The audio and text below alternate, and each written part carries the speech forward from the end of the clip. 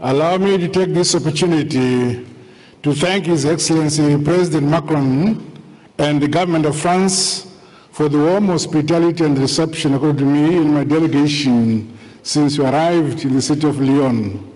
We thank France and the Global Fund for the excellent arrangements made to ensure the success of this conference.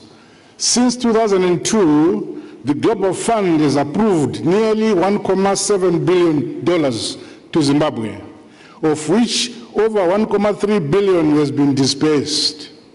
Let me express my profound gratitude for, the, for this invaluable support.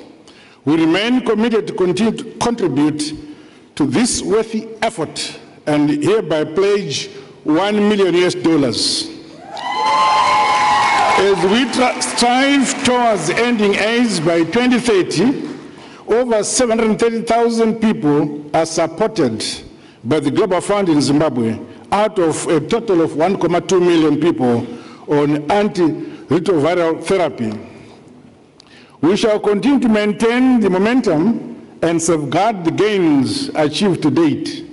TB detection and treatment, as well as the eradication of malaria, remain a priority for my government.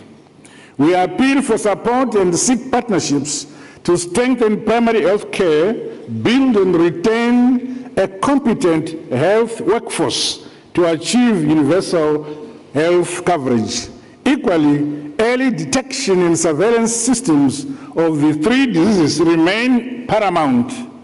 Over and above the National AIDS Trust Fund, my government is developing a robust national health insurance scheme and stepping up innovative domestic funding initiatives such as the traditional AIDS levy and the new health levy to enable us to focus on the sustainable sustainability of our response to these three. I thank you.